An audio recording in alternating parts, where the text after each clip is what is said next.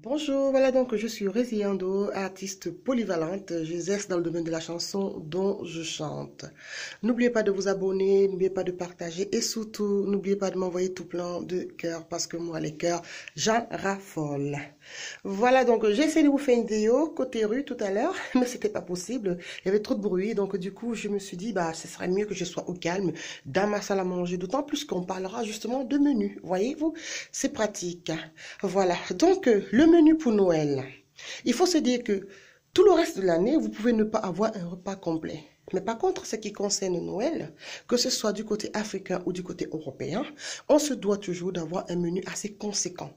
Donc, souvenez-vous pour tous les Africains que la période de Noël ou bien le repas de Noël était vraiment préparé à l'avance. Nos mamans prenaient vraiment des mois pour commencer à confectionner ces mets. Ça veut dire quoi? Les préparations en amont, c'était déjà la préparation par rapport à tous les mets qui auraient, qui devaient être préparés. C'est-à-dire que soit peut-être le coq qui devait être, ou la poule qui devait être tuée euh, le jour de Noël, avait déjà quand même une certaine proportion. Euh, à partir du mois de septembre, on sait déjà que, ok, parmi tous les poulets ou tous les, les coqs de la basse-cour, c'est ce poulet-là ou c'est ce coq qu'on va justement sacrifier pour Noël, un peu comme la dinde en France. Hein.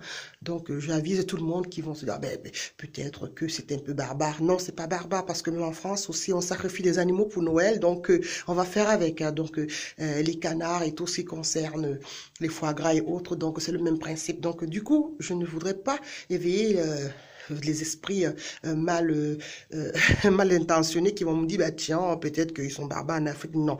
C'est comme en France. Donc, en France, pour le foie gras, ça se prépare à l'avance. Voyez-vous, donc on va gaver le, canard ou bien l'oie un peu plus à l'avance pour justement qu'ils puissent déjà avoir un bon foie gras. Idem pour les huîtres aussi, voyez-vous? Donc l'élevage, tout ce qui concerne les fêtes, se font toujours en amont. Ce n'est pas au dernier moment. Alors, pour nous en Afrique, comme pour tous les Européens, et je crois pour tous les autres peuples, il suffit justement de préparer tous ces ingrédients en amont et puis après essayer le jour de Noël ou le jour de l'an de mettre tout ça en, phase pour avoir un repas assez conséquent. Donc maintenant, pour nous en Afrique, surtout au Cameroun, on a l'ondolé, on a les mets de pistache, surtout pour le 31, mais pour cela, quand une maman a son pistache, elle va le conserver, sachant que ce pistache est vraiment spécial. Il faut que je puisse l'avoir pour mon menu pour les fêtes de fin d'année. Donc, en ce qui concerne aussi les bêtes, que ce soit du mouton, du porc, tout ça. Donc, je veux dire que tous ces préparatifs sont vus en amont, comme aussi en France, où on va déjà commencer pour tout ce qui, pour tout ce qui est caviar. Euh, on va commencer très en avance déjà à savoir, OK, dans tel bassin, on va mettre tel poisson qui va justement nous fournir le caviar pour Noël et tout. Toutes les préparatifs de toutes les façons, dans toutes les langues, dans tout le monde entier, se font en amont. Et maintenant, on a une stratégie simple pour ne pas louper son repas et qui est relative à tous les peuples. Il suffit de faire quoi? On a un apéritif. En France, on a l'apéritif. En Afrique, on a aussi l'apéritif. C'est comme des mises en bouche.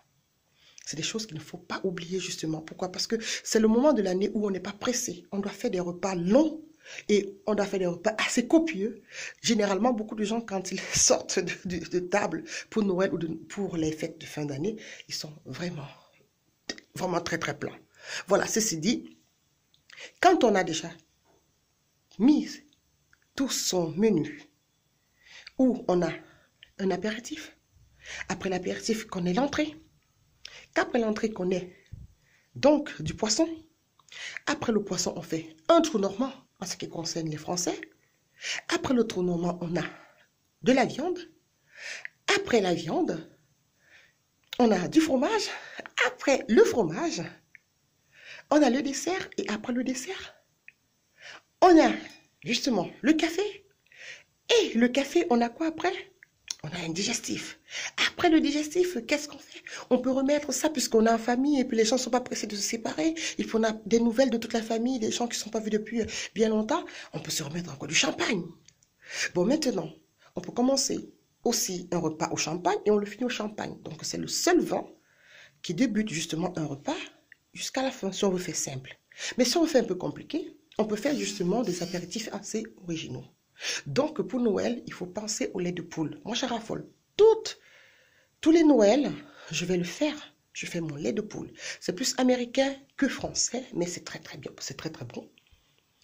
Et ensuite, quand on a déjà fait son lait de poule, il faut qu'on pense, par exemple, à la place de poisson, ou de faire, par exemple, des terrines, ou alors de servir, par exemple, euh, euh, des, des, des, saumons. Je peux aussi proposer les fruits de mer. Donc, généralement, saumon, huîtres, fruits de mer, pour le réveillon, c'est très, très important. Tout simplement pourquoi? Moi, la dinde, je le fais plus le 25. Tout simplement parce que je sais que le soir, au réveillon, tellement c'est les retrouvailles parce qu'il faut faire, il faut faire euh, la fête en deux fois, il faut faire euh, le réveillon et puis il faut faire le 25. Donc euh, au réveillon, on a tout ce qui est fruits de mer, c'est-à-dire que on peut avoir du saumon fumé, on peut avoir aussi du caviar pour ceux qui sont caviar, on peut avoir un bon plateau de fruits de mer et tout ça. Et surtout, on sait que les fruits de mer euh, quand ce sont des, très bons fruits de mer, donc euh, il ne faut pas oublier hein, les, euh, la coquille Saint-Jacques et tout ça. Donc tous les menus qui vont tourner autour des, des, fruits de mer ou alors des produits qui viennent de la mer. donc je, je, je, propose ça plus au réveillon où on va avoir des langoustines, voyez-vous, et puis on va avoir du homard et tout ça. Donc je propose ça généralement au réveillon. Donc pour votre menu, pour le réveillon, vous pouvez proposer ça. Et si vous ne voulez pas proposer de la viande, vous pouvez aussi. Ça veut dire quoi? Vous pouvez faire tout simplement euh, un plateau de fruits de mer. Vous pouvez faire euh, du saumon, vous pouvez faire des huîtres, vous pouvez faire aussi donc du homard et tout ça. Donc à vous de voir à quel moment vous voulez proposer tout ça. Et ensuite, le 25, qu'est-ce que vous faites? Vous proposez justement tout ce qui concerne le foie gras foie gras en entrée, et puis après vous avez euh, justement du, chaperon ou alors de la dinde, voilà, donc euh, farci et tout ça. Vous proposez tout ça, et du coup ça fait que le 25, le 24 et le 25 ne se ressembleront pas du tout.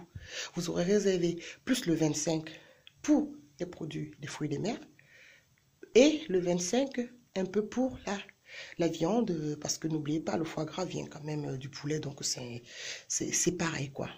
Donc, ceci dit, n'oubliez pas toujours de proposer à vos autres, même si après, je sais que le fromage et tout ça, parfois, c'est pas la bienvenue. Vous proposez un plateau de, euh, un plateau de fromage, toujours. Et puis, n'oubliez pas le dessert, la bûche.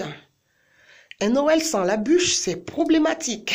Donc, euh, moi, le Noël, il faut une bûche pour Noël. Donc, n'oubliez pas, si vous ne pouvez pas faire une bûche, vous achetez une très très bonne bûche, vos autres seront contents. Et si vous faites les fruits de mer, le 24, cherchez une bûche bien fruitée qui fera que, le repas sera plus allégé. Et si vous faites par exemple euh, un chaperon ou alors euh, une dinde pour le 25, choisissez aussi quand même une bûche aussi très légère. Il faut chercher tout ce qui est léger parce que franchement, quand on sort de table, on est vraiment bien bourré.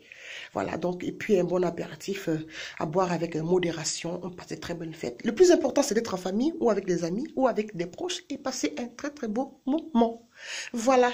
Donc, si je vous ai donné quelques idées pour ne pas louper votre menu, pour ne pas louper justement tout le temps de repas, n'oubliez pas, c'est très important. Très important de faire un repas différent des autres jours de la semaine parce que c'est Noël, parce que c'est la nouvelle année. Il va falloir mettre des bouchées doubles pour passer un moment merveilleux en famille avec les amis, avec la famille, avec tous, tous ceux qui sont proches de vous ou tous ceux avec qui vous voulez passer ces moments festifs. N'oubliez pas, je vous donne un peu plus de pêche, plus de, de, de courage parce que je sais qu'on est déjà sur la ligne droite. Courage, allez-y. Allez-y, ne vous arrêtez pas. Vous avez vu, ma voix, elle est revenue. Donc, euh, je pense que d'autres vidéos, je vais vous présenter, vous donner quelques astuces peut-être pour euh, euh, la mise en place, la table, vos plats et voilà, les décorations qu'il faut. Je vous ai dit que je vous accompagnerai. Donc, je suis là, j'essaie de vous accompagner comme je peux. Maintenant, pour les Africains, si vous voulez faire des repas africains, c'est pas mal du tout. Vous pouvez par exemple faire un DG le, le, le 24 et vous faites un doulet le 25. Parce que je sais qu'au niveau des préparatifs, pour nous les Africains, c'est différent parce qu'on prépare beaucoup de choses le 24 et puis c'est le 25, on mange, on réchauffe tout simplement parce qu'on n'a pas le temps de se remettre en cuisine parce que généralement, le 25, c'est les baptêmes, euh, euh, c'est les rencontres, c'est des visites. Je vous reparlerai quand même de cette histoire de Noël vue du côté africain dans la prochaine vidéo. À très bientôt, je vous embrasse, ciao